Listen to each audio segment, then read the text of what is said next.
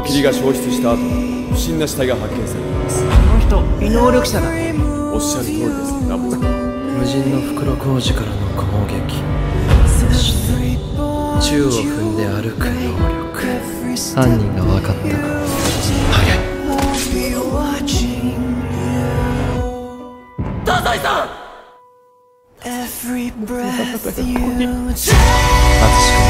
可能性は一つしかない。追わが自ら顔を出す。とは罪深く愚か。ですあったか。もそにが罠にかかったやあ魔人平等楽しすぎるね